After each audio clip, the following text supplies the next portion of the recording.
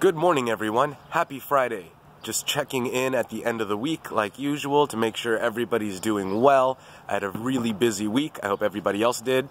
And we've got a few things to go over. I'm going to front load it with the work stuff. I've been talking twice a week and in every meeting about the Venu transition and saving everything out of your listing concierge program.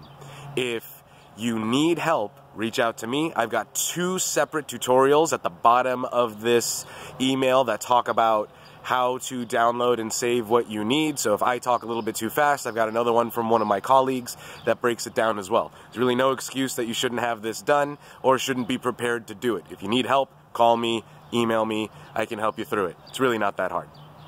But we want to make sure it gets done so you're all ready to kick off in the next month when we roll out. Also, like you've heard me harp on over and over again, make sure you've reassessed your marketing plan and your business plan so you're prepared for the rest of 2020. As always, we talk about being a better member of our community and what we can do to help those around us as a part of our industry. Over the last few weeks, I've been trying to do my part to feed the community as well, and that's what pointed me to the charity I've included in the email today. Food Rescue US is an amazing organization that is working not only to eliminate food waste, but to make sure that Americans aren't going hungry.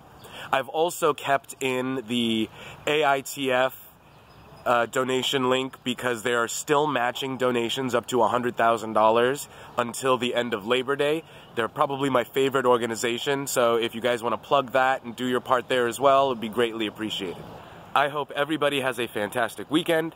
You look forward to a strong start to next week, and I will see you all on Monday. Cheers.